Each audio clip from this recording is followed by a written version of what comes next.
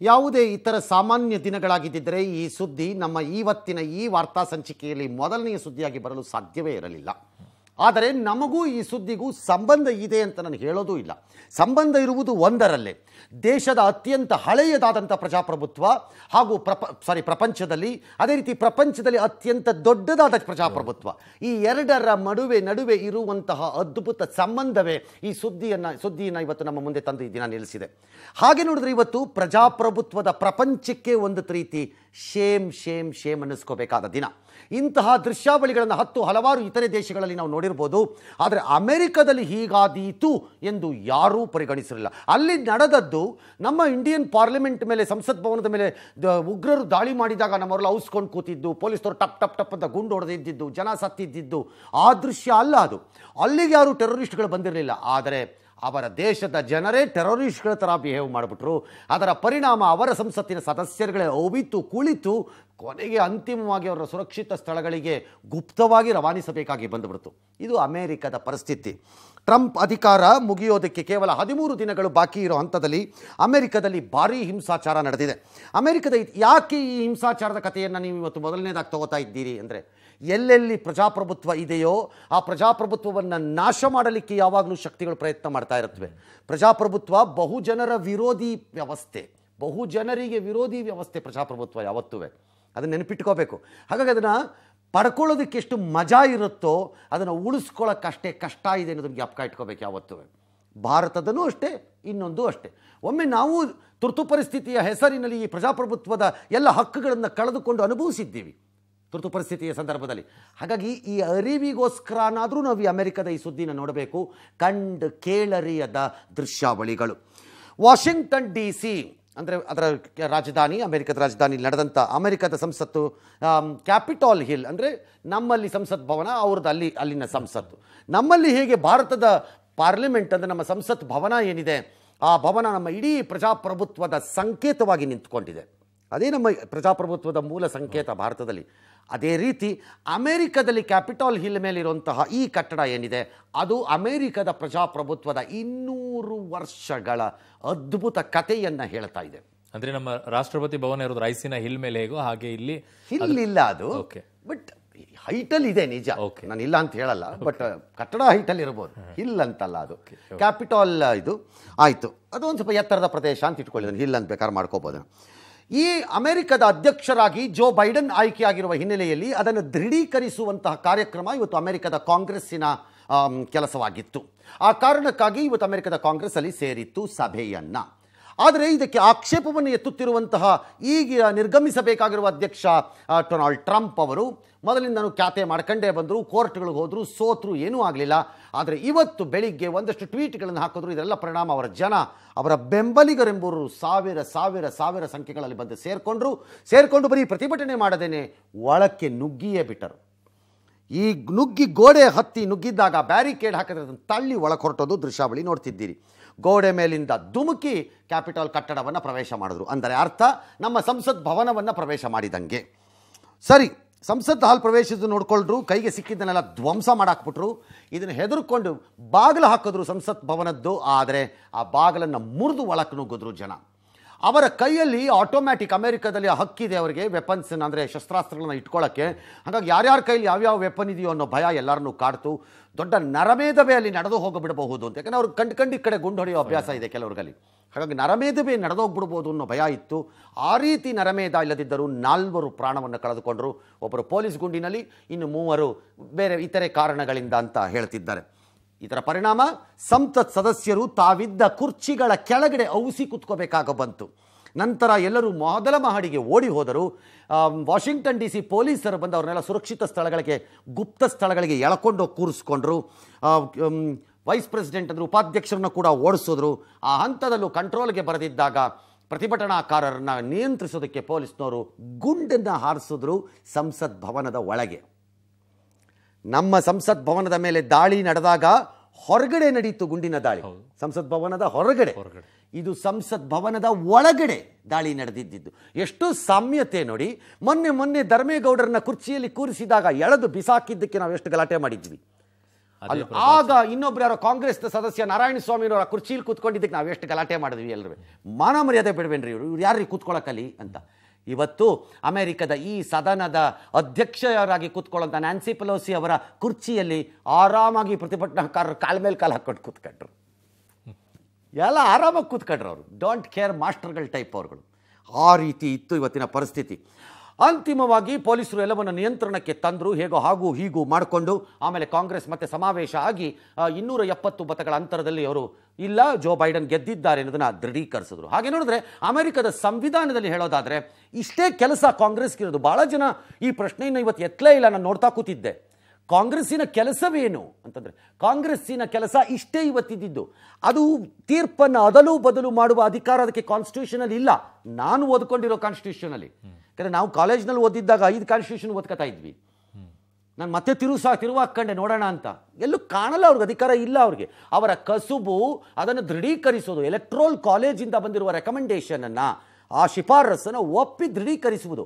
ಆಕ್ಷೇಪಗಳಿದ್ದರೆ ಚರ್ಚೆ ಮಾಡ್ಬೋದೇ ಹೊರತು beyond that ಅವ್ರಿಗೆ ಟರ್ನ್ ಮಾಡೋಕ್ಕೆ ಬರಲ್ಲ ಅದನ್ನು, ವಾಪಸ್ reverse they cannot go against the will of the public American ಇದರಲ್ಲಿ ವೋಟರ್ಸಲ್ಲಿ ನಮ್ಮ ನಮ್ಮ ದೇಶದಲ್ಲಿ ಇದ್ದಂಗೆ ನಮ್ಮ ದೇಶದಲ್ಲೂ ಹೀಗೆ ಸಿಸ್ಟಮ್ ಇರೋವಂಥದ್ದು ಆಕ್ಷೇಪಗಳು ಸಾವಿರಾರು ಇರ್ಬೋದು ಬೇಕಾರೆ ಆಕ್ಷೇಪಗಳು ಸಾವಿರಾರು ಇರ್ಬೋದು. ಬಟ್ ನಮ್ಮ ದೇಶದ ವ್ಯವಸ್ಥೆನೂ ಹಾಗೆ ಇರುತ್ತೆ. ಟರ್ನ್ ಮಾಡೋಕ್ಕೆ ಬರಲ್ಲ ಯಾರೋ ಒಬ್ಬರು ಕೂತ್ಕೊಂಡು. ವೋಟ್ ಆಗಿದ್ದನ್ನ ಪ್ರೆಸಿಡೆಂಟ್ ಯಾರೋ ಬೇರೆ ಪ್ರೆಸಿಡೆಂಟ್ ಇದ್ದಾರೆ. ಈ ಪಕ್ಷ ಇದ್ದಾಗ ಬಂದಿದ್ದ ಪ್ರೆಸಿಡೆಂಟ್ ಅಲ್ಲ ಹಿಂದಿನ ಪಕ್ಷ ಇದ್ದಾಗಿನ ಪ್ರಣವ್ ಮುಖರ್ಜಿ ಇದ್ದರು ನರೇಂದ್ರ ಮೋದಿ ಬಂದಾಗ. ಪ್ರಣವ್ ಮುಖರ್ಜಿ ನಾನು ಕಾಂಗ್ರೆಸ್ ಮೂಲದಿಂದ ಬಂದಿದ್ದೇನೆ ಅಂತ ಅನ್ಕೊಂಡ್ಬಿಟ್ಟು ಕಾಂಗ್ರೆಸ್ನವ್ರು ಹೇಳ್ತಾ ಇದ್ದಾರೆ ಓಕೆ ಬಿ ಜೆ ಪಿ ಸೋಲ್ತು ನರೇಂದ್ರ ಮೋದಿ ಸೋತ್ರು ಕಾಂಗ್ರೆಸ್ ಗೆದ್ರು ಬರಪ್ಪ ಅಂತ ಕರೆಯೋಕ್ಕಾಗಲ್ಲ. ಜನ he he has a limitation ಇದ್ದಿದ್ದ ಶಕ್ತಿನೂ ಅಷ್ಟೇ ಇವತ್ತು. ಅದು ಹೇಗೆ ಅದನ್ನು ಟರ್ನ್ ಮಾಡಿಬಿಡ್ತಾರೆ ಅಂತ ಅವರೆಲ್ಲ ಅಂದ್ಕೊಂಡಿದ್ರು ನನಗಂತೂ ಅರ್ಥವಾಗಲಿಲ್ಲ ಅದು. ಸಾಧ್ಯನೇ ಇಲ್ಲ ಅದು. ಇಂಪಾಸಿಬಲ್ ಎಲ್ಲ ರಾಜ್ಯಗಳಲ್ಲಿ ನಡೆದ ಚುನಾವಣೆಗೆ ವರದಿಗಳು ಬರ್ತವೆ ನಮ್ಮ ದೇಶದ ಥರ ಸೆಂಟ್ರಲ್ ಎಲೆಕ್ಷನ್ ಕಮಿಷನ್ ಇಲ್ಲ ಅಮೆರಿಕದಲ್ಲಿ. ನಮ್ಮ ಥರ. ಒಂದೊಂದು ರಾಜ್ಯಗಳ ರಾಜ್ಯಕ್ಕೆ ರಾಜ್ಯಕ್ಕೆ ಒಬ್ಬೊಬ್ಬ ಎಲೆಕ್ಷನ್ ಕಮಿಷನರ್ ಇರ್ತಾರೆ. ಆ ಸೆಕ್ರೆಟರಿ ಆಫ್ ಸ್ಟೇಟ್ ಅಂತ ಯಾರು ಇರ್ತಾರೆ ಅವರೇ ನಡೆಸ್ಕೋತಾರೆ ಅದನ್ನು. ಅವರ ವರದಿಗಳು ಬಂದಿರುತ್ತೆ ಎಲೆಕ್ಟ್ರೋಲ್ ಕಾಲೇಜ್ ಅಪ್ರೂವ್ ಮಾಡಿರುತ್ತೆ ಆ ರೆಕಮೆಂಡೇಶನ್ ಕಾಂಗ್ರೆಸ್ಗೆ ಬರುತ್ತೆ ಅದು ದೃಢೀಕರಿಸುತ್ತಷ್ಟೇ that's all is the process ಬದ್ಧ ಪ್ರ- ಪ್ರಕ್ರಿಯೆ. ಕೊನೆಗೆ ಅಲ್ಟಿಮೇಟ್ಲಿ ಪಾಸ್ ಆಯಿತು ಎಲ್ಲ ಆಯಿತು. ಈಗ ವಾಷಿಂಗ್ಟನ್ ಡಿ ಸಿನಲ್ಲಿ ಹದಿನೈದು ದಿನಗಳ ಕಾಲ ಕರ್ಫ್ಯೂನ ಜಾರಿ ಮಾಡಿದ್ದಾರೆ. ನನಗೆ ಅರ್ಥ ಆಗ್ತಾ ಇದೆ ನನ್ನ ಕಣ್ಣು ಮುಂದೆ ಬರ್ತಾ ಇದೆ. ನಾನು ಅಲ್ಲಿ ಓಡಾಡಿರುವಂತಹ ರಸ್ತೆಗಳೆಲ್ಲ ಹೀಗಾದರೆ ಹೇಗಿರ್ಬೋದು ಅಲ್ಲಿ ಕರ್ಫ್ಯೂ ಅಂತ. ಯಾಕೆ? ನೈನ್ ಲೆವೆನ್ ಆದಾಗನೇ ಅಮೆರಿಕದ ವಾಷಿಂಗ್ಟನ್ ಡಿ ಸಿ ನಾನು ನೋಡಿದ್ದೆ. ಓಕೆ ಅವತ್ತಲ್ಲಿ ಅಟ್ಯಾಕ್ ಆದಂತ ಸಂದರ್ಭ. ಆಗಲೇ ಜನ ಉಯ್ ಅಂತ ವಿಷಲ್ ಹೊಡೆದ್ರೆ ಇಪ್ಪತ್ತಾರು ಕಿಲೋಮೀಟರ್ ಕೇಳೋಷ್ಟು ಜನ ಒಳಗೆ ಸೇರ್ಕೊಂಡಾಗ ಹೋಗಿತ್ತು. ಅವಾಗಲೇ. ಗೋಜ್ ಗೋಜ್ಲೆಲ್ಲ ಮುಗಿದ ಮೇಲೆ. ಆಗಸದಲ್ಲಿ ಏನು ವಿಮಾನಗಳ ಮೇಲೆ ವಿಮಾನ ಹಾರಾಡ್ತಿತ್ತು? ಆಗಲೇ ನೀನು. ಈ ಕರ್ಫ್ಯೂ ಹಾಕಿದಾರಂತೆ ಹದಿನೈದು ದಿನ ಯಾರು ಆಚೆ ಬರಬಾರ್ದಂತ ಪ್ರಧಾನಮಂತ್ರಿಗಳು ಕೂಡ ಹೇಳಿದ್ದಾರೆ. ಪ್ರಜಾಪ್ರಭುತ್ವದಲ್ಲಿ ಹಸ್ತಾಂತರ ನಡೆಯೋದು ಅಧಿಕಾರ ಹಸ್ತಾಂತರ ಶಾಂತಿಯುತವಾಗಿರಬೇಕು. ಇದು ಭಾಳ ಹಿಂಸಾಚಾರ ಆಗಿರೋದು ತುಂಬ ನೋವಾಗ್ತಾ ಇದೆ. ಪ್ರಜಾಪ್ರಭುತ್ವದ ಪ್ರಕ್ರಿಯೆಗಳಿಗೆ ಅಡ್ಡಿಪಡಿಸೋದು ಸರಿಯಲ್ಲ ಅಂತ ಅವರು ಹೇಳಿದ್ದಾರೆ. ವಿಶ್ವದ ದೊಡ್ಡಣ್ಣ ಅಂತ ಕರೆಸ್ಕೊಳ್ಳುವಂತ ಬಹಳ ಅವಮಾನ. ಅವಮಾನ ಅಮೆರಿಕದ್ದು ಅಷ್ಟೇ ಅಲ್ಲ ಇದು. ಪ್ರಜಾಪ್ರಭುತ್ವದ ವ್ಯವಸ್ಥೆಗೆ ಅವಮಾನ ಇದು. ಪ್ರಜಾಪ್ರಭುತ್ವ ಅಂದ್ರೆ ಏನು? ಶಾಂತಿಯುತವಾಗಿ ಅಧಿಕಾರ ಹಸ್ತಾಂತರ ಮತ್ತು ವಾದ ಪ್ರತಿವಾದಗಳಲ್ಲಿ ನಿಮ್ಮ ಅಭಿಪ್ರಾಯಗಳನ್ನು ಮಂಡನೆ ಮಾಡುವಂಥದ್ದು. ನಾನು ಹೇಳೋದೇ ಸರಿ ಅನ್ನೋ ಹಠಾನೂ ಅಲ್ಲ. ನೀನು ಹೇಳಿದ್ದೇ ಸರಿ ಅನ್ನೋ ವಾದಾನೂ ಅಲ್ಲ. ಪ್ರಜಾಪ್ರಭುತ್ವ ಇಷ್ಟೊಂದು ಕುಗ್ಗ ಕಾರಣ ಇನ್ನೂರು ವರ್ಷಗಳ ಇತಿಹಾಸ ಇರೋ ಅಮೆರಿಕದಲ್ಲಿ ಹೀಗಾಗಬಹುದು ಇಂಥ ಒಂದು ದಿನ ಬರಬಹುದು ಅನ್ನೋ ನಿರೀಕ್ಷೆಯನ್ನ ಬಹುಶಃ ಯಾರೂ ಯೋಚನೆ ಮಾಡಿಲ್ಲ. ಎಂತೆಂಥ ಖ್ಯಾತನಾಮ ಅಧ್ಯಕ್ಷರುಗಳಲ್ಲಿಂದ ಹೋಗಿದ್ದಾರೆ.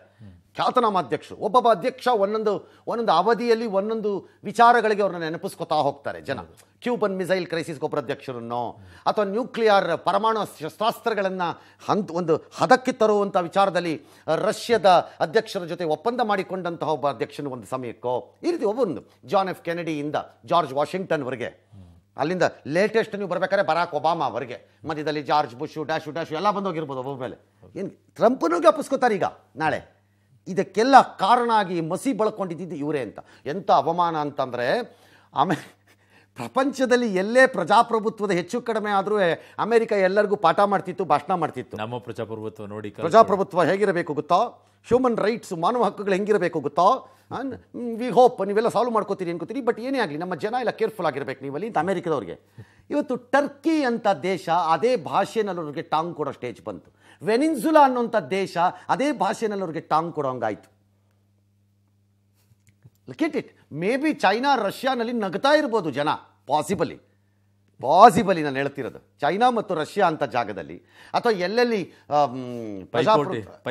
ಅಲ್ಲಲ್ಲ ಎಲ್ಲೆಲ್ಲಿ ಇವರು ಯಾರು ಡಿಕ್ಟೇಟರ್ಗಳು ಇರ್ತಾರೋ ಅಲ್ಲೆಲ್ಲ ನಗ್ತಾ ಇರ್ಬೋದು ಅವರೆಲ್ಲ ಬಹುಶಃ. ಏನ್ ಪ್ರಜಾಪ್ರಭುತ್ವ ಏನ್ ಪ್ರಜಾಪ್ರಭುತ್ವ ಮಾತಾಡ್ತಿದ್ರಲ್ಲ ಭಾಷಣ ಬಿಗಿತಿದ್ರಲ್ಲ ನೋಡ್ಕೊಳ್ಳಿ ನಿಮ್ಮ ಮನೆ ಬರೋಣ ಅಂತ. ಅಂದ್ರೆ ಅಮೆರಿಕ ಎಷ್ಟು ಒಡೆದಾಗಿದೆ ಅನ್ನೋದನ್ನ ತೋರಿಸ್ತಾ ಇದೆ ಅಷ್ಟೇ. ಎಷ್ಟು ಒಡೆದಿದೆ ದೇಶ. ಎಡಪಂಥೀಯ ಮತ್ತು ಮಧ್ಯಮ ಹಾಗೂ ಬಲಪಂಥೀಯ ವರ್ಗಗಳ ಮಧ್ಯೆ ಎಷ್ಟು ಒಡೆದೋಗಿದೆ ದೇಶ ಅನ್ನೋದನ್ನು ನೋಡಬೇಕು. ನಮ್ಮ ದೇಶದಲ್ಲಿ ಹಾಗಾದ್ರೆ ಇಂಥ ಸಮಸ್ಯೆ ಇಲ್ವೇನು? ಇದೇ ನಮ್ಮಲ್ಲೂ ನಮ್ಮಲ್ಲೂ ಪ್ರಕ್ರಿಯೆ ಏನು ಸಣ್ಣದಾಗಿಲ್ಲ. ನಮ್ಮಲ್ಲಿ ಚುನಾವಣೆ ಆಗಬೇಕು. ಚುನಾವಣೆ ಆದಮೇಲೆ ರಾಜ್ಯ ಚುನಾವಣಾಧಿಕಾರಿಗಳು ಅದನ್ನು ಕೇಂದ್ರ ಚುನಾವಣಾಧಿಕಾರಿಗಳ ಗಮನಕ್ಕೆ ತರ್ತಾರೆ. ಅವರು ಎಲ್ಲ ಪ್ರಕ್ರಿಯೆಗಳು ಸರಿ ಇದೆ ಅಂತ ಮೇಲೆ ಅದನ್ನು ಒಪ್ಪುತ್ತಾರೆ ಆಮೇಲೆ ಅದನ್ನು ನೋಟಿಫೈ ಮಾಡ್ತಾರೆ, ಆಮೇಲೆ ಆ ಅಭ್ಯರ್ಥಿಗೆ ಸರ್ಟಿಫಿಕೇಟನ್ನು ಕೊಡ್ತಾರೆ. ತದನಂತರ ಆ ಲಿಸ್ಟ್ ಒಂದಾಗುತ್ತೆ, ಅದು ಸೆಂಟ್ರಲ್ ಎಲೆಕ್ಷನ್ ಕಮಿಷನ್ಗೆ ಹೋಗುತ್ತೆ. ಸೆಂಟ್ರಲ್ ಎಲೆಕ್ಷನ್ ಕಮಿಷನ್ ಒಂದು ರೋಸ್ಟರ್ ರೆಡಿ ಮಾಡ್ತಾರೆ. ಆ ಇಡೀ ಡೈರಿನ ಡ ರಿಜಿಸ್ಟ್ರಿ ಅಂತ ಅಂತಾರೆ. ಅದನ್ನು ತೊಗೊಂಡೋಗಿ ರಾಷ್ಟ್ರಪತಿಗಳಿಗೆ ದಯಪಾಲಿಸ್ತಾರೆ. ರಾಷ್ಟ್ರಪತಿಗಳಿಗೆ ಒಪ್ಪಿಸಿದ ನಂತರ ರಾಷ್ಟ್ರಪತಿಗಳು ಅದನ್ನು ಒಪ್ಪಬೇಕು. ಒಪ್ಪಿ ಅದು ಗೆಸೆಟ್ ನೋಟಿಫಿಕೇಶನ್ ಆಗಬೇಕು. ನೋಟಿಫಿಕೇಶನ್ ಆದಮೇಲೆ ಅವರು ಮುಂದೆ ಬರುವಂಥ ಆ, ಯಾರು ಪ್ರಧಾನಮಂತ್ರಿ ಆಗ್ತಾರೋ ಅಥವಾ ನಾಯಕರಾಗಬೇಕು ಅವ್ರನ್ನ ಅಧಿಕಾರಕ್ಕೆ ಬನ್ನಿ ಅಂತ ಕರೀಬೇಕು. ಪ್ರಕ್ರಿಯೆ. ಇದಕ್ಕಿದಂತೆ ಯಾರು ಹದಿನಾರು ಜನ ಎದ್ದು ನಿಂತ್ಕೊಂಡ್ಬಿಟ್ಟು ಆಯ್ತು ಬಟ್ ಬಟ್ ಕ್ಯಾನ್ಸಲ್ ಅಂತಂದ್ರೆ ಕ್ಯಾನ್ಸಲ್ ಆಗಲ್ಲ. ಟೇಕ್ ಫಾರ್ ಎಕ್ಸಾಂಪಲ್ ಒಂದು ಸಣ್ಣ ಎಕ್ಸಾಂಪಲ್ ಕೊಟ್ಬಿಡ್ತೀನಿ ಕ್ವಿಕ್ ಆಗಿ ಹೋಗ್ಬಿಡೋಣ ಬೇಕಾದ್ರೆ. ಎಸ್ ಇತ್ತೀಚೆಗೆ ನಡೆದ ಒಂದು ಚುನಾವಣೆ ತಗೊಳ್ಳಿ. ರಾಜರಾಜೇಶ್ವರಿ ನಗರ ಚುನಾವಣೆ ನಡೀತು ಇತ್ತೀಚೆಗೆ. ಕಾಂಗ್ರೆಸ್ ಬಿಜೆಪಿ ಅಭ್ಯರ್ಥಿ ಎಷ್ಟೋ ಮತಗಳಿಂದ ಗೆದ್ದಾಯ್ತು ಅಲ್ಲಿ ಗೆದ್ದ ನಂತರ ಸೋತ ಅಭ್ಯರ್ಥಿಯ ಪರವಾಗಿ ಈಗ ಡಿ ಕೆ ಸುರೇಶ್ ಅಂತ ಇದು ಎಲೆಕ್ಟ್ರಲ್ ವೋಟಿಂಗ್ ಮೆಷಿನ್ ಇದೆಲ್ಲ ಸರಿ ಇಲ್ಲ ಇದು. ಹಂಗೆ ಅಂದ್ಬಿಟ್ಟು ಅವ್ರು ಒಂದು ಐವತ್ತು ಸಾವಿರ ಜನನೂ ಇಪ್ಪತ್ತೈದು ಸಾವಿರ ಜನನೂ ಸೇರಿಸ್ಕೊಂಡ್ಬಿಟ್ಟು ಟರ್ನ್ ಮಾಡೋಕ್ಕಾಗಲ್ಲ? ಇಲ್ಲ. ಯು ಕಾನ್ ಟರ್ನ್ ಎಸ್ ಆದರೆ ಅವ್ರು ಆ ಕೆಲಸ ಮಾಡಲಿಲ್ಲ. ಯಾಕೆಂದ್ರೆ ಅವ್ರು ಅರಿವಾಯಿತು ನಾನು ಗೆದ್ದಿದ್ದು ಅದೇ ಅದೇ ಎಲೆಕ್ಷನ್ ವೋಟಿಂಗ್ ಮೆಷಿನಲ್ಲೇ ಅಂತ. ಹಾಗಾಗಿ ಸು ಆಕ್ಷೇಪ ಎತ್ತಿದ್ರು. ಅವರ ಆಕ್ಷೇಪ ಸರಿ ತಪ್ಪು ಅನ್ನೋ ಪ್ರಶ್ನೆ ಬೇರೆ. ನಮ್ಮ ಪ್ರಕಾರ ತಪ್ಪು. ಅದು ಬೇರೆ ವಿಚಾರ. ಬಟ್ ಆಮೇಲೆ ಅಲ್ಲಿ ನಿಲ್ಲಿತು ಶಾಂತಿಯುತವಾಗಿ ಮುಗೀತು ಕೆಲಸ. ಹೀಗಿರಬೇಕು? ಆಕ್ಷೇಪಗಳು ಇಲ್ಲೂ ಇದೆ. ಅಲ್ಲೂ ಆಕ್ಷೇಪ ಇದೆ. ಪೆನ್ಸಿಲ್ವಾನಿಯಾ ಅಂತ ರಾಜ್ಯಗಳಲ್ಲಿ ಅಮೆರಿಕದ ಅಧ್ಯಕ್ಷ ಅನ್ಕೋತಾರೆ. ಈಗಿರುವ ಅಧ್ಯಕ್ಷ ನಾನು ಗೆದ್ದಿದ್ದೀನಿ ಅನ್ಕೋತಾರೆ. ಅವರಲ್ಲಿ ಗೆದ್ದಿಲ್ಲ ಅಂತ ಎಲೆಕ್ಷನ್ ಆಫೀಸರ್ಸ್ ಹೇಳ್ತಾ ಇದ್ದಾರೆ ಅಲ್ಲಿ ಹಾಗಾಗಿ ಅವರಿಲ್ಲ. ನಾನು ಗೆದ್ದಿದ್ದೀನಿ. ಎಲ್ಲ ಮೋಸ. ತಗಾಕೋರು ನೀವೆಲ್ಲ ಅಂತಂದ್ಬಿಟ್ಟು ಅವರು. ಆಕ್ಷೇಪ ಇತ್ತು. ಆದರೆ ಅದನ್ನೆಲ್ಲ ಅವ್ರು ಕೋರ್ಟ್ಗೆ ಹೋಗಿದ್ರು. ನಮ್ಮಲ್ಲೂ ಕೋರ್ಟ್ಗೆ ಹೋಗಿರೋದಿದೆ ಪ್ರಕ್ರಿಯೆಗಳು. ನಮ್ಮಲ್ಲಿ ಹೋಗಿಲ್ಲ ಅಂತೇನಿಲ್ಲ. ಯಾಕೆ ಎಲೆಕ್ಷನ್ ಕಮಿಷನ್ ಚುನಾವಣೆಯಲ್ಲಿ ಗೆದ್ದ ಮೇಲೂ ಕೋರ್ಟ್ಗೆ ಹೋಗಿರೋದಿದೆ ನಮ್ಮಲ್ಲಿ. ಅದೇ ಕ್ಷೇತ್ರದಲ್ಲೇ ಆಗಿದೆ. ಅದೇ ಈಗ ನಾ ಹೇಳಿದ ಕ್ಷೇತ್ರದಲ್ಲೇ ಆಗಿದೆ. ಫಾರ್ ಎಕ್ಸಾಂಪಲ್ ಹೇಳಬೇಕು ಅಂತಂದ್ರೆ. ಅಲ್ಲೇ ಆಗಿದೆ. ಹಾಗಾಗಿ ಆಕ್ಷೇಪಗಳು ಪ್ರಜಾಪ್ರಭುತ್ವದಲ್ಲಿ ಇರಬಾರದು ಅನ್ನೋದು ತಪ್ಪು. ಆಕ್ಷೇಪಗಳು ಇರುವುದೇ ಪ್ರಜಾಪ್ರಭುತ್ವದ ಅದ್ಭುತ ಕೂಡ. The beauty of democracy is there is a space for different opinion ಭಿನ್ನ ಅಭಿಪ್ರಾಯಗಳಿಗೆ ಜಾಗವನ್ನು, ವೇದಿಕೆಯನ್ನು ಕಲ್ಪಿಸಿ ಕೊಡುವುದೇ ಪ್ರಜಾಪ್ರಭುತ್ವದ ವಂಡರ್ ಇಲ್ಲ, ನಾನು ಹೇಳಿದ್ದೆ ಕರೆಕ್ಟ್ ಟರ್ನ್ ಮಾಡಿಬಿಡು ರಿಸಲ್ಟ್ ಅಂದರೆ ಯಾವನ್ ಟರ್ನ್ ಮಾಡ್ತಾನೆ? ಕಾಮನ್ ಸೆನ್ಸ್ ಬೇಡವಾ? ಅನ್ಬಿಲಿವಬಲ್ ಅಪ್ಪ ನಾವಂತೂ ನೋಡಿರಲಿಲ್ಲ. ಬಟ್ ಬಟ್ ಇದರಲ್ಲಿ ಕಲಿಬೇಕಾಗಿರೋ ಪಾಠ ಏನು ಸರ್? ಈ ಪ್ರಜಾಪ್ರಭುತ್ವದಲ್ಲಿ ಯಾಕೆ ಡೆಮಾಕ್ರಸಿ ಕಾರಣ ಏನು ಸರ್ ಡೆಮಾಕ್ರಸಿ ಅನ್ನೋದು ಬಹಳ ಸುಲಭ ಅಲ್ಲ ಅರಗಿಸ್ಕೊಳ್ಳೋದು. ಅದ್ಭುತವಾದ ವ್ಯವಸ್ಥೆ. ಆದರೆ ಅದನ್ನು ಅರಗಿಸ್ಕೊಳ್ಳೋದು ಅಷ್ಟು ಸುಲಭ ಅಲ್ಲ. ಅದಕ್ಕೆ ಇತ್ತೀಚಿನ ದಿನಮಾನಗಳಲ್ಲಿ ಜನ ಸಣ್ಣದಾಗಿ ಒಂದು ರೀತಿ ಡಿಕ್ಟೇಟರ್ಶಿಪ್ ಇರುವ ಕೆಲ ನಾಯಕರನ್ನು ಒಪ್ಕೋತಾರೆ ಸುಲಭವಾಗಿ. ಯಾಕಂದರೆ ಜನಕ್ಕೆ ಅಂದರೆ ಯಾವನಾರೊಬ್ಬ ಬಡ್ದು ಬುದ್ಧಿ ಹೇಳ್ದಿದ್ದು ಆಗಲ್ಲ ಸರ್ ಇದೆಲ್ಲ ಅಂತ. ಇದೊಂದು ಆ್ಯಟಿಟ್ಯೂಡು ನಮ್ಮ ಜನಕ್ಕೆ. ಯಾವನಾರೊಬ್ಬ ಬುದ್ಧ ಬಡದು ಬುದ್ಧಿ ಹೇಳ್ಬೇಕು ಸರ್ ಏನು ಸರ್ ಹಿಂಗೆ? ಹಿಂಗೆ ಕೇಳ್ಕೊಂಡು ಹೋಗ್ತಾ ಇದ್ರೆ ಎಲ್ಲರೂ ಆಗತ್ತಾ ಸರ್ ಎರಡು ಬಿಟ್ಟು ಮಾಡ್ಬೇಕು ಚೈನಾ ಇಂಪ್ರೂವ್ ಆಗಿದೆ ಅದಕ್ಕೆ ಸರ್ ನೋಡಿ ಸರ್ ಅದಕ್ಕೆ. ಇದು ಈ ಆ್ಯಟಿಟ್ಯೂಡ್ ಯಾವಾಗ ಬರುತ್ತೆ ಅಂದರೆ ಅಸಹ್ಯ, ಸಂಕಟ, ಅಸಹಾಯಕತೆ ಯಾವಾಗ ಬರುತ್ತೆ ಪ್ರಜಾಪ್ರಭುತ್ವದಲ್ಲಿ ಅಂದರೆ ನಾಯಕತ್ವಗಳಿಗೆ ಇಲ್ದಿದ್ದಾಗ. ಹಾಗಾಗಿ ನಮ್ಮ ಪ್ರಜಾಪ್ರಭುತ್ವದ ಪಾಠ ಏನು ಅಂತಂದರೆ, ಎ, ನಾವು ಜನ ಅಲರ್ಟ್ ಆಗಿರಬೇಕು. ಬಿ, ಈ ರೀತಿಯ ಪ್ರಕ್ರಿಯೆಗಳಿಗೆ ಜಾಗ ಕೊಟ್ಟಾಗ ಮುಖಾಮುಖಿ ನೋಡೋದು ಅದನ್ನು ಸಹಿ ಸಹಿಸಬಾರ್ದು. ಸುಲಭ. ಈಗ ಐವತ್ತು ಸಾವಿರ ಜನ ಸೇರಿಸೋದು ಯಾರಿಗೆ ಕಷ್ಟ ಈ ದೇಶದಲ್ಲಿ ಈಗ? ಯಾರಿಗೆ ಕಷ್ಟ ಈ ದೇಶದಲ್ಲಿ? ಐವತ್ತು ಸಾವಿರ ಜನ ಐವತ್ತು ಸಾವಿರ ಜನ ಬಂದು ನುಗ್ಗಿಬಿಟ್ರೆ ನಾಳೆ? ಹಂಗಾರೆ ಉಳಿದವ್ರದ್ದು ಏನು? ಅದಕ್ಕೆ ಹೇಳೋದು ಯಾವಾಗಲೂ ಡೆಮೋಕ್ರಸಿನಲ್ಲಿ the silent majority speaks. Vociferous minority ಗಲಾಟೆ ಮಾಡುತ್ತೆ ಅಂತ. ಅಂದರೆ ಸಣ್ಣ ಗುಂಪು ಹೆಚ್ಚು ಶಬ್ದವನ್ನು ಶಬ್ದ ದೊಡ್ಡ ಗುಂಪು ಬಹಳ ಮೌನವಾಗಿ ತನ್ನ ಕೆಲಸವನ್ನು ಮಾಡುತ್ತೆ. ಪಾಠ ಅಷ್ಟೇ. ಅಮೇರಿಕಾ ಎಷ್ಟು ಒಡೆದೋಗಿದೆ. ಬಲಪಂಥೀಯ ಚಿಂತನೆಗಳು ಅಥವಾ ಬ್ಲ್ಯಾಕು ವೈಟು ಅಥವಾ ಹಿಸ್ ವಿವಿಧ ಇನ್ನಿತರ ವರ್ಗಗಳಲ್ಲಿ ಎಷ್ಟು ಒಡೆದೋಗಿದೆ ರಾಜಕೀಯವಾಗಿ ಅನ್ನೋದನ್ನು ತೋರಿಸ್ತಾ ಇದೆ. ಅಲ್ಲ ನಮ್ಮ ನಮ್ಮ ದೇಶದಲ್ಲೂ ಎಡ ಮತ್ತು ಬಲ ಅಂತ ತುಂಬ ಜೋರಾಗಿ ಹೋಗ್ತಾ ಇದೆ. ಅದಕ್ಕೆ ಈ ಪ್ರಶ್ನೆಯನ್ನು ಕೇಳಿ ಹೋಗ್ಬೋದು ನಾನು ಹೋಗಲ್ಲ ಅಂತ ಹೇಳಲ್ಲ. ಬಟ್ ಡಿಸಿಸಿವ್ ಆಗಿ ಜನ ತೀರ್ಮಾನ ಮಾಡಬೇಕಷ್ಟೇ ಅದನ್ನೆಲ್ಲ. ಎಸ್ ದಟ್ಸ್ ಆಲ್ ಸುಲಭ ಅಲ್ಲ ಇದು. ಎಸ್ ಇನ್ನು ಭಾರಿ ಹಿಂಸಾಚಾರ ಹೈಡ್ರಾಮಾ ಬಳಿಕ ಅಮೆರಿಕ ಅಧ್ಯಕ್ಷ ಚುನಾವಣೆ ಬಗೆಹರಿದೋಗಿದೆ. ಚುನಾವಣೆಯಲ್ಲಿ ಅಕ್ರಮ ನಡೆದಿದೆ ಅಂತ ಪದೇ ಪದೇ ಆರೋಪಿಸಿದಂತ ಡೊನಾಲ್ಡ್ ಟ್ರಂಪ್ ಕಡೆಗೂ ಸೋಲೊಪ್ಕೊಂಡ್ರು ಮುಂದಿನ ಅಧ್ಯಕ್ಷ ಜೋ ಬೈಡನ್ಗೆ ಅಧಿಕಾರವನ್ನು ಹಸ್ತಾಂತರ ಮಾಡ್ತೀನಿ ಅಂತ ಘೋಷಣೆ ಮಾಡಿದ್ರು. ಜೋ ಬೈಡನ್ ಗೆಲುವನ್ನು ಅಮೆರಿಕ ಸಂಸತ್ತು ದೃಢಪಡಿಸ್ತಾನೆ ಡೊನಾಲ್ಡ್ ಟ್ರಂಪ್ ಈ ರೀತಿಯಾಗಿ ಹೇಳಿಕೆಯನ್ನು ಕೊಟ್ಟಿದ್ದಾರೆ. ಈಗಲೂ ನಾನು ಫಲಿತಾಂಶವನ್ನು ಒಪ್ಪೋದಿಲ್ಲ. ಆದರೂ ಕೂಡ ನಿಯಮಗಳಿಗೆ ಅನುಸಾರವಾಗಿ ಜನವರಿ ಇಪ್ಪತ್ತರಂದು ಅಧಿಕಾರವನ್ನು ಹಸ್ತಾಂತರಕ್ಕೆ ಸಹಕರಿಸ್ತೀನಿ ಅಂತ ಹೇಳಿದ್ದಾರೆ. ಪದವಿಯನ್ನು ಬಿಟ್ಕೊಡ್ತೀನಿ ಅಂದಿದ್ದಾರೆ. ಬಿಟ್ಕೊಡಲೇಬೇಕು ಬೇರೆ ದಾರಿ ಇಲ್ಲ ಅವ್ರಿಗೆ. ಇನ್ಕ್ಲೂಡಿಂಗ್ ಕೋರ್ಟ್ಗಳೆಲ್ಲ ತಿರಸ್ಕಾರ ಮಾಡಿವೆ. ಬಟ್ ಇನ್ನೊಂದಿಷ್ಟು ಜನ ಎಲ್ಲಿ ಕರೆಸ್ಬಿಡ್ತಾರೆ ಅಂತೇಳಿ ಸೋಷಿಯಲ್ ಮೀಡಿಯಾದವರೆಲ್ಲ ಸ್ಟಾಪ್ ಮಾಡ್ಬಿಟ್ಟಿದ್ರು ಅವ್ರ ಅಕೌಂಟ್ನೆಲ್ಲ ಮಾಡ್ಬಿಟ್ಟಿದ್ರು ಸರ್ ಆದರೆ ಅಮೆರಿಕದಲ್ಲಿ ಕಳೆದುಕೊಂಡಿರುವ ಅಧಿಕಾರವನ್ನು ಉಳಿಸಿಕೊಳ್ಳಬೇಕು ಎಂಬ ಪ್ರಯತ್ನ ಹೇಗೆ? ಒಂದು ರೀತಿ ಅವಮಾನ ಅಸಹ್ಯ ಮತ್ತು ಅಹಂಕಾರದ ಪ್ರದರ್ಶನವನ್ನು ತೋರಿಸ್ತಾ ಇತ್ತೋ ಅಲ್ಲಿಯ ಪ್ರಜಾಪ್ರಭುತ್ವದಲ್ಲಿ ಇಲ್ಲೂ ಹಾಗೆ ಆಗಿದೆ ಅನ್ಸುತ್ತೆ ನಮ್ಮ ದೇಶದಲ್ಲಿ. ನಮ್ಮ ದೇಶದಲ್ಲಿ ಜನ ಕೊಟ್ಟ ಅಧಿಕಾರವನ್ನು ನನ್ನ ವೈಯಕ್ತಿಕವಾದ ದತ್ತವಾದ ಹುಟ್ಟಿನಿಂದ ಬಂದಿರುವ ಅಧಿಕಾರ ಅಂತ ಚಲಾವಣೆ ಮಾಡುವಂಥ ರಾಜಕಾರಣಿಗಳಿಗೆ ಈ ಘಟನೆ ಒಂದು ಪಾಠ ಆಗಲೇಬೇಕು. ಪರ್ಮನೆಂಟ್ ಅನ್ನೋ ರೀತಿಯಲ್ಲಿ ನೋಡಿ ಪರ್ಮನೆಂಟ್ ಥರ ಬೇಕು ಅಧಿಕಾರದ ಮದ ಕೆಲವು ಸರಿ ಏನೇನು ಮಾಡಿಸತ್ತೇನಕ್ಕೆ? ಕಾನೂನು ಮಂತ್ರಿ ಜೆ ಸಿ ಮಾಧುಸ್ವಾಮಿ ಅವರು ಅತ್ಯುತ್ತಮ ಸಂಸದೀಯ ಪಟು ನಿಜ ಅದೆಲ್ಲ ಯಾವ ಸಮಸ್ಯೆ ಬುದ್ಧಿವಂತರು ಇರ್ಬೋದು ಎಲ್ಲ ಕರೆಕ್ಟ್ ಬಟ್ ಬೇರೆ ವಿಚಾರದಲ್ಲಿ ಸಾರ್ವಜನಿಕವಾಗಿ ಇವರು ನಾಲಿಗೆಯನ್ನು ಹರಿಬಿಡುವಂತಹ ಚಾಳಿ ಇನ್ನೂ ಮುಂದುವರೆದಂಗೆ ಇದೆ ಅವ್ರಿಗೆ. ಅವ್ರಿಗೇನು ಹೋದಂಗಿಲ್ಲ ಅವ್ರಿಗೆ. ಪದೇ ಪದೇ ಪುನರಾವರ್ತನೆ. He he is becoming a habitual offender ಅವ್ರು ಲಾ ಮಿನಿಸ್ಟರ್ ಆಗಿದ್ದರಿಂದ ಈ ಪದ ಬಳಸ್ತಾ ಇದ್ದೀನಿ ನಾನು. Yeah he is becoming a habitual ಪದೇ ಪದೇ ತಪ್ಪುಗಳನ್ನು, ಕಳ್ಳತನಗಳನ್ನು, ಕೆಟ್ಟ ಕೆಲಸಗಳನ್ನು, ದುಷ್ಟ ಕೆಲಸಗಳನ್ನು ಮಾಡುವ ವ್ಯಕ್ತಿ. ಅಂತ ಆಗ್ತಾ ಇದೆ ಅಷ್ಟೇ ಇದು. ದ್ಯಾಟ್ಸ್ ಅನ್ಫೇರ್ ನಿಮ್ಮ ಬುದ್ಧಿವಂತಿಕೆಗೆ ನೀವು ತಿಳಿದುಕೊಂಡಿರುವ ಕಾನೂನು ಮತ್ತು ಸಂಸದೀಯ ನಡವಳಿಕೆಗಳು because you are minister for law and parliamentary affairs ಹೌದು. ಸಂಸದೀಯ ನಡವಳಿಕೆ ಇದೆ ಏನು? ಅಧಿಕಾರದಲ್ಲಿ? ಹೆಂಗೋ ಅದು. ಅಧಿಕಾರಿಯೊಬ್ಬರ ಮೇಲೆ ಇವತ್ತೊಂದು ಕೆ ಡಿ ಪಿ ಸಭೆ ನಡೆದಿದೆ ತುಮಕೂರಿನಲ್ಲಿ. ಅಲ್ಲಿ ಬಿಟ್ಟರು ಬಾಯ್ನ ಎ ಇ ಆರ್ ರಂಗಸ್ವಾಮಿನವ್ರ ವಿರುದ್ಧ ಪಂಚಾಯತ್ ಇಂಜಿನಿಯರಿಂಗ್ ವಿಭಾಗದಲ್ಲಿ ಕೆಲಸ ಆಗಿಲ್ಲ ಅಂತ ಸಿಟ್ಟಿಗೆ ಗೆದ್ದಿದ್ದಾರೆ. ದಾಟ್ಸ್ ಓಕೆ ಸಿಟ್ಟಾಗ್ಬೋದು ಕೆಲಸ ಆಗಿಲ್ಲದೆ ಇರ್ಬೋದು ದಟ್ಸ್ ಓಕೆ ಕಳೆದ ನಾಲ್ಕನೇ ನಾನು ಸೂಚನೆಗಳಿದ್ರು ನೀನು ಯಾ ಆದರೆ ಯಾಕೆ ನೀವು ಕಾಂಟ್ರಾಕ್ಟರ್ನ ಕರೆಸಿ ಕೆಲಸ ಒಪ್ಪಿಸಲಿಲ್ಲ ಜಾಡಿಸಿ ಒದ್ರೆ ಎಲ್ಲಿಗೋಗಿ ಬಿದ್ದಿರ್ತೀಯ ಗೊತ್ತಾ? ನೀನು ರಾಸ್ಕಲ್ ಕತ್ತೆ ಕಾಯಕ್ಕೆ ಬಂದಿದೆಯಾ ಇಲ್ಲಿ? ನೀನು ಹೆಂಡತಿ ಸೀರೆನ ಯಾವ ಸೋಪಲ್ಲಿ ತೊಳಿತೀಯಾ? ಡ್ಯಾಶ್ ಡ್ಯಾಶ್ ಈ ನನ್ನ ಮಕ್ಕಳನ್ನೆಲ್ಲ ಸಸ್ಪೆಂಡ್ ಮಾಡ್ರಿ ಅಂತ ಅವರು ಬಳಸಿರುವ ಭಾಷೆ. ನಂದಲ್ಲ. ಸರಿ ಆಮೇಲೆ ಇದೆಲ್ಲ ಆಗಿ ಎಕ್ಕ ಮಕ್ಕ ಸುದ್ದಿ ಆಗೋಯ್ತು ಗಲಾಟೆ ಆಯಿತು ಜನ ದಬಾಯಿಸಕ್ಕೆ ಸ್ಟಾರ್ಟ್ ಮಾಡಿದ್ರು. ಆಗ ಯಾತಕ್ಕೂ ಒಂದು ಇರಲಿ ಸುಮ್ಮನೆ ತಿಪ್ಪೆ ಸಾರಿಸೇ ಬಿಡೋಣ ಅಂಥೇಳಿ ಮತ್ತೆ ಅವರು ಅದೇನೋ ಬೇಕಾಬಿಟ್ಟಿ ಇದಾಗೋಯ್ತು ವಿಡಿಯೋ ಇದು ಇದಾಯಿತು. ಸ್ವಲ್ಪ ಏನೋ ತೊಂದರೆ ಆಯ್ತು ಅಷ್ಟೇ. ನಾನು ಮಾತಾಡ್ಬಿಟ್ಟೆ ಬೇಕಾಬಿಟ್ಟಿಯಾಗಿ. ತಪ್ಪಾಗಿದೆ ಬಿಡಿ ಒಂದು ಕ್ಷಮೆ ಕೇಳಿಬಿಡೋಣ ಅಂತಂದ್ಬಿಟ್ಟು ಅದನ್ನು ಅರ್ಧ ಮನಸ್ಸಿನಿಂದ ಅರೆ ಮನಸ್ಸಿನಿಂದ ಕೇಳಿ ಪದ ಇರಲಿ ಬಿಡಿ ಕ್ಷಮೆ ಇರಲಿ ಅಂತ ಅಂದಿದ್ದಾರೆ. ಆದರೆ ಮುಂದುವರೆದು, ಎಷ್ಟು ದಿನ ಅಂತ ಸಹಿಸ್ಕೊಳ್ಳೋದಿದ್ದನ್ನು ನಾವು ಅಧಿಕಾರಿಗಳ ಮೇಲೆ ಕ್ರಮ ತಗೊಳ್ಳದಿದ್ದರೆ ಸುಮ್ಮನಿದ್ರೆ ದೌರ್ಬಲ್ಯ ಅನ್ಕೋತಾರೆ ಅಂತ ಅದಕ್ಕೆ ಇನ್ನೊಂದು ಪುಂಗಿನ ಸೇರಿಸ್ಬಿಟ್ಟು ಪಿ ಪಿ ಊದಿದ್ದಾರೆ. ಏಳನೇ ತಾರೀಕು ಸದಸ್ಯರು ಬಂದು ಕೇಳೋಕ್ ಮುಂದೆ ಇವೆಲ್ಲ ಇಂಪ್ಲಿಮೆಂಟ್ ಆಗಿರ್ಬೇಕು, ಕನಿಷ್ಠ ಮಾಡಿದ್ದೀರ? ಜಾರ್ಜ್ ಒದ್ದು ಬಿಟ್ರೆ ಎಲ್ಲಿ ಹೋಗ್ಬಿಡ್ತೀವಿ ಗೊತ್ತಾ ನಿನಗ? ಕಥಕ ಕೇಳಿದ್ದೇನೆ ಇಲ್ಲಿ ಯಾಕೆ ಮಾಡಿಲ್ಲ? ಯಾವ ಸೊಪ್ಪು ನೀನು ಎಂಟಿ ಸೇರ್ ತಗೊಂಡು ತುಳಿದ್ದೆ ಸಸ್ಪೆಂಡ್ ಮಾಡಿಸಿ ನನ್ನ ಮಕ್ಕಳನ್ನೆಲ್ಲ. ಯಾಕೆ ಮಾಡಿಸಿಲ್ಲ ಅಗ್ರಿಮೆಂಟು ಅಗ್ರಿಮೆಂಟ್ ಇಡೀ ಜಿಲ್ಲೆ ಜಿಲ್ಲಾ ಪರಿಷತ್ ಇಂಜಿನಿಯರಿಂಗ್ ವಿಭಾಗದವ್ರು ಒಂದು ಕೆಲಸ ಶುರು ಮಾಡಿಲ್ಲ. Where we have grants of almost six hundred crore. ಏನ್ ಸಹಿಸ್ಕೊಳೋದು ಎಷ್ಟು ಸಹಿಸ್ಕೊಳೋದು ಮತ್ತೆ ಸಾರಿ ನಾನು ಕೆಟ್ಟ ಭಾಷೆ ಬಳಸಿದ್ದೀನಿ. ನಾಲ್ಕು ಮೀಟಿಂಗ್ ಮಾಡಿದ್ದಾರೆ ಸಿ ಅವರು ಹೆಣ್ಮಗಳು. ಏನು ಅವ್ರಿಗೆ ಅನ್ಸೋದೇ ಇಲ್ಲ ಅವ್ರಿಗೆ. ಈಗ ನಾನು ಆಕ್ಷನ್ ತಗೋತೀನಿ, ಹಂಗೆ ನಿಂತು ಹೋಗ್ತಾ ವರ್ಕ್ ಎಲ್ಲ. ಅದೊಂದು ಕಾರಣಕ್ಕೆ ನಾವು ಸಹಿಸ್ಕೊಂಡು ಸಹಿಸ್ಕೊಂಡು ಹೋದ್ರೆ ಅವ್ರ ಸರ್, ನಾಲಿಗೆ ಸಂಸ್ಕೃತಿಯನ್ನು ಬಿಂಬಿಸುತ್ತೆ ಅಂತ ಹೇಳ್ತಾರೆ. ಅಲ್ಲ ಅವ್ರ ಸಂಸ್ಕೃತಿ ಇಲ್ಲ ಅಂತ ಹೇಳೋ ಪರಿಸ್ಥಿತಿ ಅಲ್ಲ ನಂದು. ಅಲ್ಲ ಬಟ್ ಫ್ಯಾಮಿಲಿ ವಿಚಾರವನ್ನೆಲ್ಲ ಅವರು ಕೆಲಸ ಮಾಡ್ತಿಲ್ಲ ಯೋಜನೆಗಳನ್ನು ಜಾರಿಗೆ ತರ್ತಾ ಇಲ್ಲ ಅಂತಂದ್ರೆ ಉಸ್ತುವಾರಿಯಾಗಿರುವ ಮಂತ್ರಿಗಳು ಈ ರಾಜ್ಯ ಸರ್ಕಾರವು ನಾಲಾಯಕ್ಕೆ.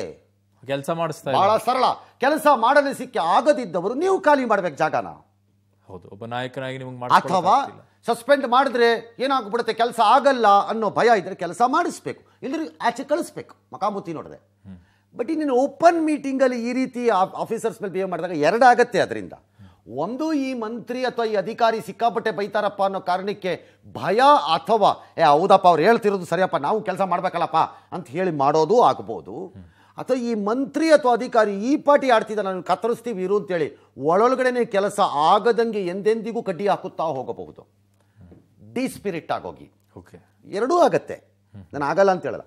ಬಟ್ ಲ್ಯಾಂಗ್ವೇಜ್ ವಿಚಾರಕ್ಕೆ ಬರ್ತದೆ ಅಧಿಕಾರಿನ ಕಾಲ್ ಕಸದ ಅದಕ್ಕೆ ಬರ್ತಾ? ಇದ್ದೀನಿ ಲ್ಯಾಂಗ್ವೇಜ್ಗೆ ಮಾಧವಸ್ವಾಮಿ ಅವರು ಫಸ್ಟ್ ಟೈಮ್ ಈ ತರ ಒಂದು ಕೋಪ ಮಾಡಿಕೊಂಡು ಈ ತರ ಏನೋ ಹೇಳಿದ್ದೇನೆ ಹೇಳಿದ್ದಾರೆ. ಏನೋ ವಿಪರೀತ ಕೋಪಕ್ಕೆ ಒಳಗಾಗಿದ್ದಾರೆ ಏನೋ ಹೆಚ್ಚು ಕಡಿಮೆ ಆಗಿದೆ ಇದು ಅಂತ. ಅಲ್ಲ ಪದೇ ಪದೇ ಪದೇ ಪದೇ you are getting into these type of situations ಪದೇ ಪದೇ. ಯಾರಿಗೆ ನೀವು ರೋಲ್ ಮಾಡೆಲ್ ಆಗ್ತಾ ಇದ್ದೀರಿ? ಯುವರ್ ಇಂಟೆಲಿಜೆನ್ಸ್ ಇಸ್ ಓಕೆ ನಿಮ್ಮ ನಾಲೆಡ್ಜ್ ಓಕೆ ಇರ್ಬೋದು. ಆದರೆ ರೋಲ್ ಮಾಡೆಲ್ ಯಾರಿಗಾಗ್ತಾ ಇದ್ದೀರಿ? ಯಾರಿಗಾಗ್ತಿದ್ದೀರಿ ರೋಲ್ ಮಾಡೆಲ್ ಆ ಭಾಷೆಯನ್ನು ನಾನು ಬಳಸ್ತೀನಿ ಅಂದರೆ ಆಲ್ ರೈಟ್ ಅಲ್ಲೂ ಒಂದು ಪದ ಹೇಳ್ತಾರೆ ಕೆಟ್ಟ ಪದ ಬಳಸಿದ್ದೀನಿ ನಿಜ. ಎಷ್ಟು ದಿನ ಅಂತ ಸಹಿಸ್ಕೊಳ್ಳೋದ್ರಿ? ಅಧಿಕಾರ ಮೇಲೆ ಕ್ರಮ ತೆಗೊಳ್ಳೋದ್ರೆ ಸುಮ್ಮನೆ ದೌರ್ಬಲ್ಯ ಅನ್ಕೋತಾರೆ ಎಕ್ಸಾಕ್ಟ್ಲಿ ಆರು ತಿಂಗಳಿಂದ ಆಗದಿದೆ ಅಂತಿದ್ದಾಗ ನೀವು ತಾನೇ ಹ್ಯಾಂಡಲ್ ಮಾಡಬೇಕು ಡಿಸ್ಟ್ರಿಕ್ಟ್ ಮಿನಿಸ್ಟರ್ಗಳು ಹೌದು ಆಫ್ಕೋರ್ಸ್ ಅವರು ಅವ್ರಿಗೆ ಜವಾಬ್ದಾರಿ ಮತ್ತೆ ಹೇಗೆ ಸಾಧ್ಯ ಅದು?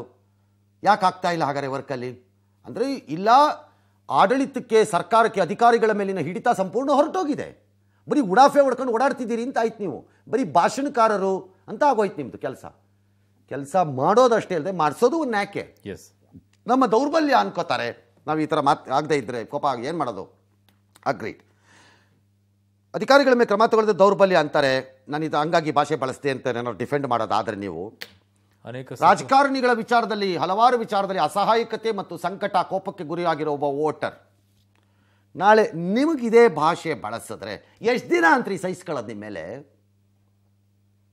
ಎಷ್ಟು ದಿನ ಅಂತ? ಆರು ತಿಂಗಳಲ್ಲ ಆರು ವರ್ಷದಿಂದ ಬೇಡ್ಕೋತಾ ಇದ್ದೀನಿ ಒಂದು ರೋಡ್ಗೋ ನೀರಿಗೋ ಸ್ಕೂಲ್ಗೋ ಪಿ ಎಚ್ ಸಿಗೋ ಹೆಲ್ತ್ ಇದಕ್ಕೋ ಮತ್ತೊಂದಕ್ಕೋ ಮತ್ತೊಂದಕ್ಕೋ ಡ್ಯಾಶ್ ಡ್ಯಾಶ್ ಡ್ಯಾಶ್ ಒಂದು ಬಸ್ಗೋ ಬೇಡ್ಕೋತಾ ಇದ್ದೀನಿ. ನಾಚಿಕೆ ಆಗಲ್ಲ ನಿಮಗೆ ಅಂದ್ಬಿಟ್ಟು ಅವ್ರು ಈ ಭಾಷೆಯನ್ನು ಬಳಸಿದ್ರೆ ಕೇಸಕ್ಕೆ ಒಳಗಡೆ ಹಾಕ್ತಾರೆ ವಾಟ್ ಹ್ಯಾಪನ್ಸ್ ಅವಾಗ ಕೇಸಕ್ಕೆ ಒಳಗಡೆ ಹಾಕ್ತಾರೆ ಹಾಗೆ? ಅವ್ರಿಗೆ ಯಾರು ಬಂದಿರ್ತಾರೆ ಅವ್ರನ್ನ ಹೋಗಿ ಕೇಸ್ ಹಾಕ್ತಾರೆ. ಎಕ್ಸಾಕ್ಟ್ಲಿ ದ ರಿವರ್ಸ್ ಇಲ್ಲೂ ಹಾಕ್ಬೇಕು ಎಕ್ಸಾಕ್ಟ್ಲಿ ದ ರಿವರ್ಸ್ ಹಾಕರಿ ಅದನ್ನ ಅರ್ಥ ಮಾಡ್ಕೊಳ್ಬೇಕು ಸಚಿವರಾಗಿ. That is the point. That is the point ಬಹಳ ಸರಿ ಅಲ್ ರೈಟ್ ಒಬ್ಬ ಅಧಿಕಾರಿ ಲಾ ಲಾಯಕ್ಕಿಲ್ಲದೆ ಇರ್ಬೋದು. ಲೂಟಿ ಹೊಡೆಯೋದೇ ಆತನ ಸಿದ್ಧಾಂತ ಆಗೋಗಿರ್ಬೋದು. ಹೇಸಿಗೆ ತಿನ್ನೋದೇ ಆತನ ಆಹಾರ ಆಗಿರ್ಬೋದು. ಅಂತಲೇ ಇಟ್ಕೊಳ್ಳ ಇರ್ಬೋದು ಆ ಥರದವ್ರು ನಾನು ಇಲ್ಲ ಅಂತ ಹೇಳಲ್ಲ. ಓಕೆ ಅದು ಕೆಲಸ ಮಾಡದೇ ಇರೋ ಅಧಿಕಾರಿ. ಅದನ್ನು ಹ್ಯಾಂಡ್ಲ್ ಮಾಡೋಕ್ಕೆ ಸಾವಿರ ಮಾರ್ಗಗಳಿವೆ. ಅವ್ರನ್ನ ಹ್ಯಾಂಡ್ಲ್ ಮಾಡೋಕ್ಕೆ. ಒಂದು ವೇಳೆ ಹ್ಯಾಂಡ್ಲ್ ಮಾಡಬೇಕೆಂದ್ರೆ ಓಪನ್ ಮೀಟಿಂಗಲ್ಲೇ ಕೆಲವು ಸರಿ ಹ್ಯಾಂಡ್ಲ್ ಮಾಡಬೇಕಾಗಿಲ್ಲ. ಪವರ್ ಇವ್ರ ಹತ್ರನೇ ಇದೆ. ಬೇರೆ ಕಡೆನೂ ಹ್ಯಾಂಡ್ಲ್ ಮಾಡ್ಬೋದು. ಹಿಂದೆ ಒಬ್ಬ ದೊಡ್ಡ ಅಧಿಕಾರಿ ಈ ಥರ ಏನೋ ಮಾಡ್ತಿದ್ದಾಗ ಒಬ್ಬ ದೊಡ್ಡ ಮಂತ್ರಿ ಒಬ್ಬರು ತನ್ನ ಚೇಂಬರ್ಗೆ ಅವ್ರನ್ನ ಕರೆಸಿ ಅವ್ರಿಗೆ ಏನು ಹೇಳಿದ್ರು ಅಂತ ನನಗೆ ಗೊತ್ತು. ದೊಡ್ಡ ಅಧಿಕಾರಿ ಅವ್ರು ಇವತ್ತು ಇಲ್ಲ ಸರ್ವೀಸಲ್ಲಿ ಇಲ್ಲ ರಿಟೈರ್ ಆಗಿದ್ದಾರೆ ಪ್ರಶ್ನೆ ಬೇರೆ. ಆ ಮೆಸೇಜನ್ನು ಆ ಇಲಾಖೆಗೆ ತಲುಪಿಸಿದ್ರು ಅವರು. ನನ್ನ ಚೇಂಬರ್ ಒಳಗಡೆ ಏನು ಹೇಳಿದೆ ಅನ್ನೋದನ್ನು. ಬಟ್ ಅವ್ರ ಮುಂದೆ ಬೈಲಿಲ್ಲ. ಮಾಡಲಿಲ್ಲ. ನನಗೆ ನೆನಪಿದೆ ಇನ್ನು. ದೊಡ್ಡ ಅಧಿಕಾರಿ. ಮತ್ತು ದೊಡ್ಡ ಮಂತ್ರಿ. ಎರಡು ಗೊತ್ತು ನನಗೆ. ಹಾಗಾಗಿ ದಾಟ್ ಇಸ್ ದಿ ಪಾಯಿಂಟ್ ಪದೇ ಪದೇ ನೀವು ಹಿಂಗೆ ಮಾಡ್ಕೊಂಡೋಗಿ ಪದೇ ಅದೊಂದು ಕ್ಷಮೆ ಇಟ್ಕೊಳ್ಳಿ. ಅದೇನು ಹುಡುಗಾಟ ಆಗೋಗಿದೆಯಾ? ಹೇಗದು? ಯಾರೇನ್ ಮಾಡ್ಕೊಳ್ತಾರೆ ಬಿಡು ಅಂತ. ಚೀಫ್ ಮಿನಿಸ್ಟರ್ ಫ್ಯಾಮಿಲಿ ಹೆಡ್ ನೀವು. ನೀವು ನೀವು ಕರೆದು ಹೇಳಬೇಕು ಅವ್ರುಗಳಿಗೆ. ಇಲ್ಲದೇ ಇದ್ದರೆ ನಿಮಗೂ ನಿಮ್ಮ ಸರ್ಕಾರಕ್ಕೂ ಶೋಭೆ ಇರಲ್ಲ ಅದರಿಂದ. ಯಾರೋ ಈಗ ಕಾಂಗ್ರೆಸ್ನವರೆಲ್ಲ ಕೇಳಿದ್ದಾರೆ ಹೆಣ್ಮಕ್ಳನ್ನೆಲ್ಲ ಯಾಕೆ ಎಳಿತೀರಿ? ಅಂತ. ಯಾಕೆ ಎಳಿಬೇಕು? ಆ ಕೆಲ್ಸಕ್ಕೂ ಅದಕ್ಕೂ ಸಂಬಂಧನೇ ಇಲ್ಲ ಏನು ಕಪ್ಪ ನಿಮ್ಗೇನಕ್ಕಪ್ಪ ಬೇಕು? ಅವ್ರ ಮನೆಯಲ್ಲಿ ಅವ್ರದ್ದು ಹೆಂಡ್ತೀನೋ ಅವ್ರ ಸೀರೆನೋ ಅವ್ರ ಸೋಪ್ ಅದೇನೋ ಮಾಡ್ಕೋತಾರೋ all right so what what you want ಕಾಂಟ್ರಾಕ್ಟ್ರಿಗೂ ಅವ್ರ ಕೆಲಸಕ್ಕೂ ಅದಕ್ಕೂ ಸಂಬಂಧ- ಆಯ್ತಪ್ಪ ಮಾಡಿಸ್ಬೇಕಾದ ಧರ್ಮ ಅಧಿಕಾರಿಗೂ ಅಲ್ಲ ಸರ್ ಏನು ಅಧಿಕಾರಿ- ಬಯೋ ರೀತಿ ಬೇರೆ ಇರಬೇಕು ಸರ್. ಬಯ್ಯೋ ರೀತಿ ಒಂದು ಭಾಷೆ ಎರಡು ಮೂರನೇದು ಪದೇ ಪದೇ ಮಾಡುತ್ತಿರುವ ರೀತಿ. Yes that is the trouble